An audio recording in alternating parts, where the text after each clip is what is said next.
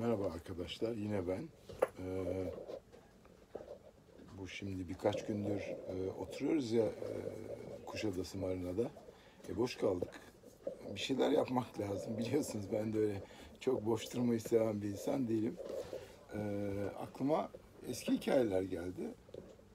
Ee, 1943-1944 yılında dedem burada e, kaymakam imiş. Ee, ve bana bir takım orada e, bilgiler vermişti burayla ilgili ölmeden önce. Ee, ben de onları araştırayım dedim. Kaymakamlığın adresine girdim. Kaymakamlık adresinde dedemin soyadını hurmacı olarak kaydetmişler. Ben de onu düzeltmeleri için onlara mail attım. Boşum ya. Ee, sonra dedemin anlattığı hikayeye geleyim sonuçta.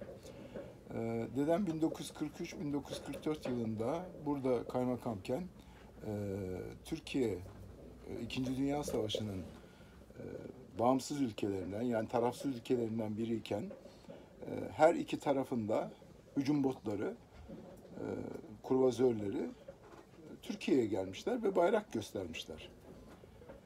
Bu bayrak göstermek için de bula bula dedemin görev yaptığı Kuşadası'nı bulmuşlar.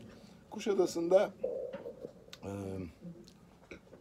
hem İngiliz donanması hem Alman donanmasından kurvazörler gelmişler şey Kuşadası'na. Yani e, Türkiye'yi savaşa sokmamak değil, kendi aralarında savaş yapacaklar. Bir de ikmal yapacaklar.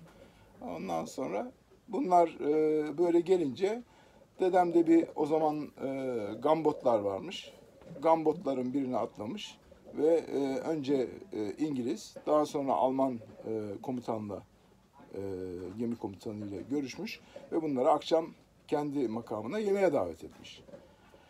E, yemekte bunları ikna etmiş. Demiş ki burada e, büyük yani sorunlar çıkar her iki taraf içinde. Çünkü çok yakınsınız birbirinize. Onun için e, suhuletle buradan ayrılın gidin. Önce İngilizler, sonra e, Almanlar ve yakıtlarını vesairelerini, her türlü ikmallerini yaptıktan sonra e, bunları e, Kuşadası'ndan uzaklaştırmış.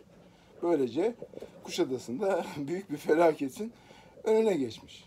Bu da Kuşadası'nın e, bize olan hatırası. Eğer herhangi bir yanlışım varsa halam bunu büyük ihtimalle dinleyecek.